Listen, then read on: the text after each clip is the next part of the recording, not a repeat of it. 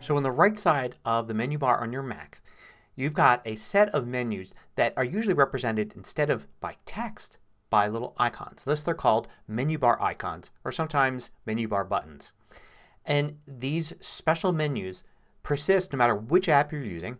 They're always there and they do special functions. Like for instance the volume one here allows you to change the volume and also choose uh, different devices for output like speakers or headphones etc.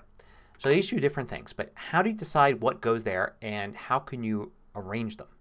So for the most part these are all connected either to an app, some sort of system extension, or something in System Preferences. And you can make them appear or go away depending upon which type of thing they are. For instance, the volume control here. That's part of System Preferences and you can get to it by going either to Sound Preferences right there in the menu or you could go System Preferences and then to Sound. Either way it will take you to the same place. So here in System Preferences Sound you'll see at the bottom Show Volume and Menu Bar. If I deselect that you can see it goes away. So in the case of the volume control this is how you make this appear and disappear. And this is true for anything else related to something in System Preferences.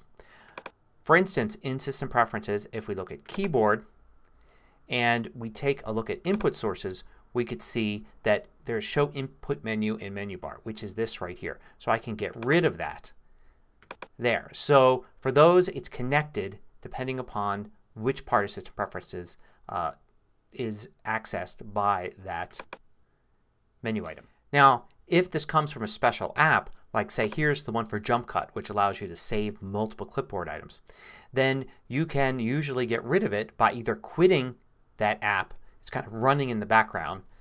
Uh, or you can go to preferences and sometimes there's the ability uh, to change uh, what appears there. So in this case in appearance you can change which icon appears.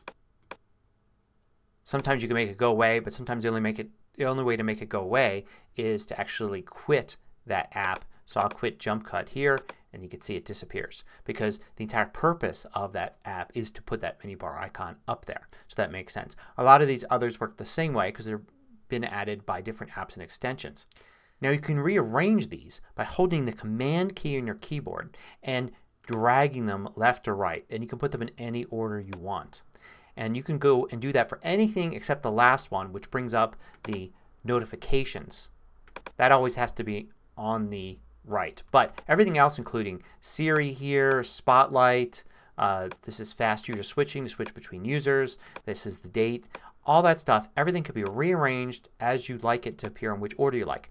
Now usually it's just a matter of preference but sometimes it's important because if you're dealing with a crowded menu bar like maybe you're running say Microsoft Word has a huge menu bar with lots of commands across here and a smaller screen basically you're going to sacrifice the leftmost icons here, they'll go away in order to make room for those menu items. So if there's something you need to access when you're running Microsoft Word you may want to actually move that more to the right than something that you rarely would access if you're using Word.